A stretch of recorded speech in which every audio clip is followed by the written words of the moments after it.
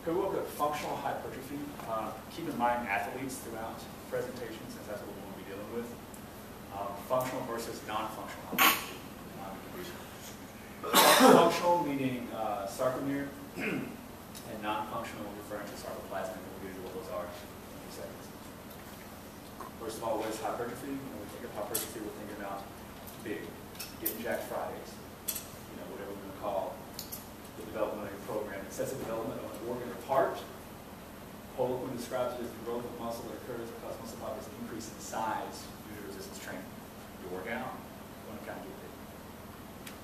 Types of hypertrophy. Functional, the sarcomere, the myofibrillar.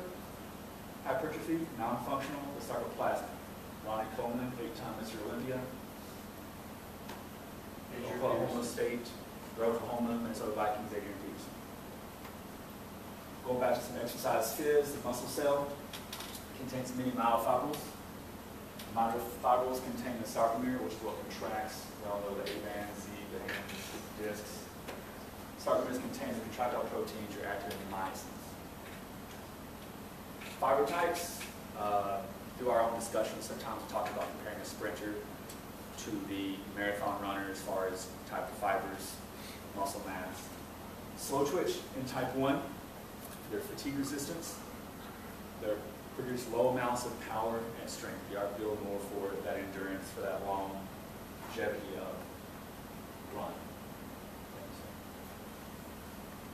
Type 2 fiber, fast twitch, you're going to fatigue a little bit quicker, a little bit quicker, and you're going to produce more high amounts of power and strength. What is the sarcoplasm? It's the goo. Basically, your myofibrils. It's what's in between. If it's not the myofibril, everything else is sarcoplasm. Contain your ATP, a lot of your energy sources, ATP, glycogen, creatine phosphate, um, the mitochondria, which is you know, the powerhouse the cell, your capillaries, which would be your T-tubules, and a lot of your intracellular fluids. In functional hypertrophy, sarcomere or myofibrillar, it's not the buzzwords like functional training. You know, it's not talk about putting a bar on your back and squatting on a big Swiss ball. Okay, it's not functional training. It's more or less, is, it functional? Can you utilize it? You know, is it just getting big for getting big sake? Functional hypertrophy achieved by an increase in volume and density, but what's most important here is that it results in increased strength. It's muscle growth that is strategic so that it grows in a way that will produce and improve athletic performance. Basically, the philosophy is if you increase the size of the sarcomere, you're going to have stronger, more forceful, but you'll also have the bigger muscle. Non-functional sarcoplasmic hypertrophy, basically you're trying to get just this, the sarcoplasm bigger. There's no utility to it, it's not functional. You can't apply that to the strength. Achieve increase the growth of non-contractile elements, once again, to your ATP, glycogen, creatine phosphate, you want to increase the size of the sarcoplasm, but it's not going to provide stronger, more forceful contractions. But again, you're getting big. It's more the Ronnie Coleman versus Adrian Peterson. So we'll.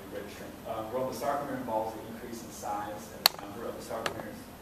We increase the density of the myofibrils that contract, and it's going to lead to greater strength. Kind of where you, uh, when you grow the sarcoplasm, you're going to increase the non-contractile strength, but you're going to decrease the density of the, uh, the muscle fiber. The sarcoplasm is not going to increase the muscle strength. Going to the application, the translation that some were talking about as far as what you do in the weight room and how it translates to the field. Poliquin uh, stated that he knew six bodybuilders Mr. Olympians who could not bench press 315 more than six times. So yeah, you want to get big, but it's you produce. Any translation for any athletic performance. Basic fiber facts, bodybuilding, typically your type 1.